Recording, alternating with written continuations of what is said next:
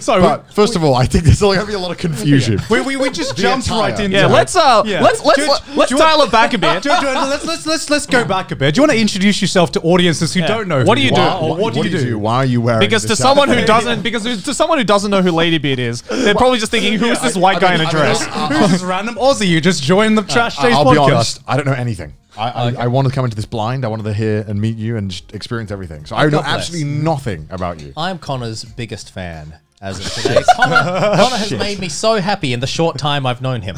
Um, let me introduce myself. Go I'll for do, it. watch this. I'll do it like we're uh, like we're on TV. This is Channel Seven. Right here, you ready? Okay, go for it. My name's Ladybeard.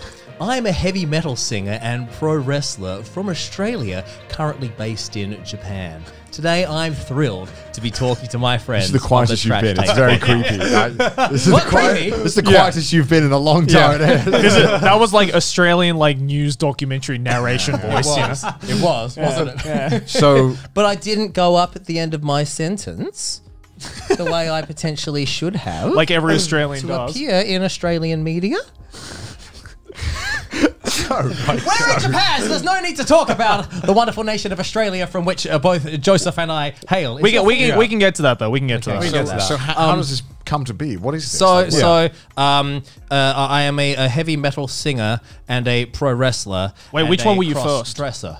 I was first a cross dresser. Oh, really? And then oh. became a cross dressing pro wrestler. Right. And then became a cross dressing wrestling heavy metal metal. singer. what, what, what is what is the journey? I feel like I feel like you're saying these steps so casually. I'm trying to break these down. That's like that's like someone being like, I was uh, a straight man, and then I was a straight man who became an astrophysicist, and then I became a straight man who did astrophysicist and does gardening every now. I and feel Are- like are the- you not those things? Yes. I thought that's what this was. Yeah. I feel like there's a story that gets for us from point A to point B, but I'm just not seeing it. So I okay, I So used to live in yeah. uh, the city of Hong Kong, and I was an actor and a voice actor and a pro Whoa, whoa, whoa, whoa, whoa, whoa! How did you get to Hong Kong? No, no, no, no! Now you're adding like five more different points to this story. I gave you an abbreviated version of the story, so as to avoid these pitfalls. No, we're currently you just encountering. created more pitfalls. Okay, okay, I yeah. want to know what made you leave Australia. Let's start there. Okay, so Okay. um, I, I I went through acting school in Australia Okay. to be an actor. Okay. That's mainly what acting school's for. Yes. Yes, mainly. makes sense. But I w- also am a uh, martial artist. Okay. And so what happened was I then I moved from Adelaide, that's where I'm from, which as Joey will know is a small city, Yes. to Melbourne, Right. which Joey will know Is a big city. la- a bigger, A bigger city. this isn't a child series. what is this? but and so I was training Yeah. in in Hong Kong style, um, like cinematic action with uh, this Aussie dude who was on Jackie Chan's stunt team, right? Oh wow. So I was on his stunt team, right?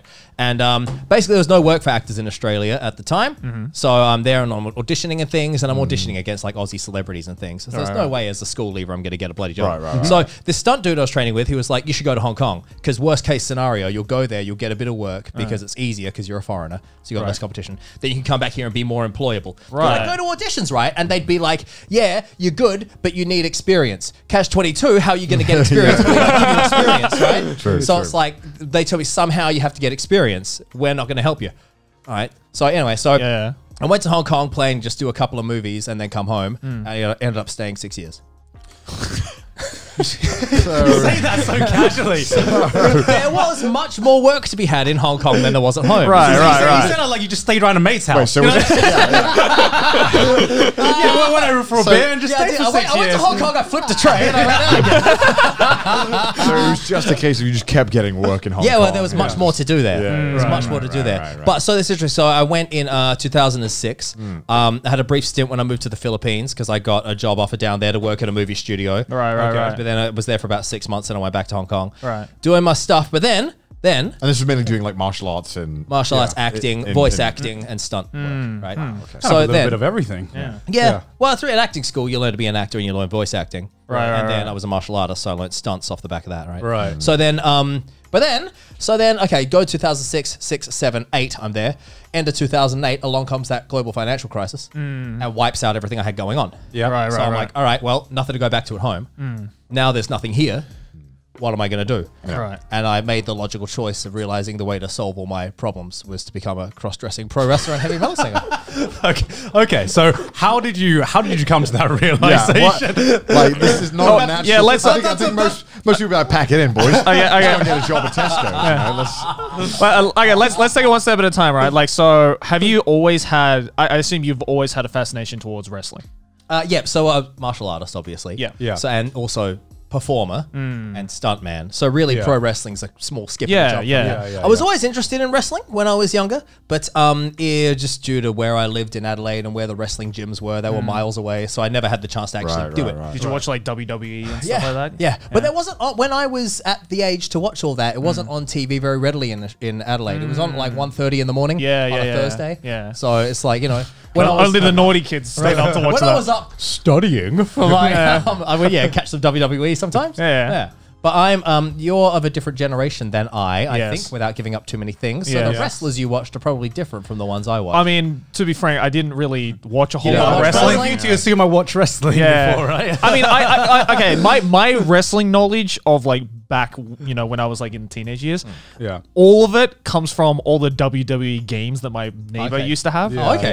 yeah. So like you know, it'd be like back then when it was I think it was still SmackDown versus Raw, Yes. right? Like that kind of like level. good. So, That- so it's like good. you know, it's like very big. I, I wouldn't call myself a wrestling but fan. but that's around the time when I was getting access to this 1.30 in the morning. Right, wrestling on right, TV. right, right, right. right. But you had to have Foxtel to be able to watch the damn wrestling. I didn't have Foxtel. yeah, Foxtel is like uh, like cable. like cable, Like Sky. Okay, that's yeah, what I like that's yeah, what like Sky, yeah, that's yeah, what basically. Yeah, but then Australia, Sky is that conservative news network. So I don't say Sky because it's a very different thing in oh, Australia. Is it? I don't even know that. don't even know? Nah. Too many people use the same words for their media outlets.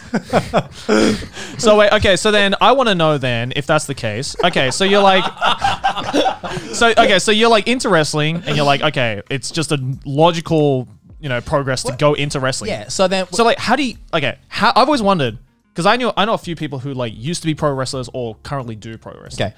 How do you even start to get into an industry like that? well, you go in, you go to wrestling school. So you go to a wrestling gym and Yeah. you'll do a tryout to see whether or not they will train you. Right. And if they accept you, then they accept you and they start training you. right, What right, do they right. look for? What's like what's like the audition Well, you need to have, um, you know, physically, you need to be able to handle the physical stuff. Yeah. Mm. And then, you know, from a, um, I guess, a presentation and performance perspective, you need to have um, some level of aptitude in that. Have some you don't showmanship. Need, don't nec- yeah, you don't necessarily need to be trained in anything already, but if you're super shy and you can't handle being in front of an audience, it's not Yeah. going to work out great. Because right. wrestling is generally speaking about larger than life characters. Yeah, So- yeah, yeah, yeah, And men Yeah. in dresses.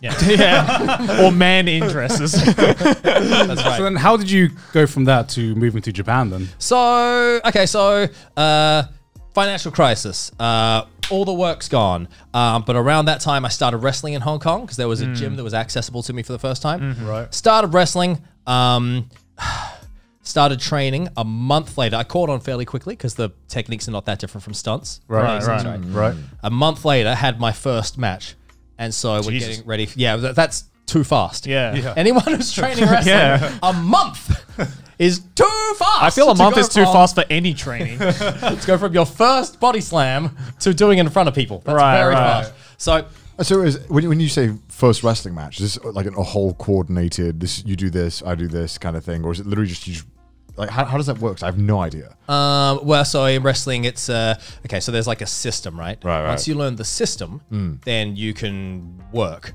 I see. So if I know what I'm doing, if you, I'm trained to the system and you're trained to the system, You can we both can just never kinda have like met before. read the- read but the we room. can, we can, we know the You system. figure it out, right, right. yeah, right, right. Um, Okay, sorry, my bad. it's all right. It's all right, Connor. I I, know don't mind. not. I know, I know, because you know with No, no, I- 'cause I I wanted to know yeah, as well, yeah. yeah. Wrestling with you know, I mean, you know, because it's it's an act, but it, you know, it's not an act, mm. right? But you, I don't, I don't know telling me quite- that wrestling is oh fake, God. Connor?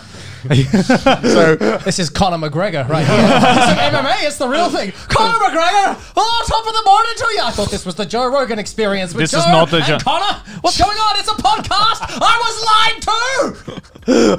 Oh what is happening? What is happening? What did- I didn't want to I'm so offend you. confused right now. Conor McGregor. Conor.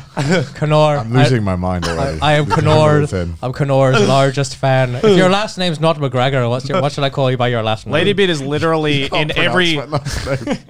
Ladybeard is in like, and I s- and I say this in the nicest way possible, is one of the hardest people to work with. oh shit! Oh no! Well, I like like I just said, like I literally just said, this man is like oh, fucking Oh, destroying already set. destroying the set within Jesus what, Christ. 15 minutes of recording. My legs! My legs, yeah, can't walk correctly. All right, let's let's cut. So we can Sorry.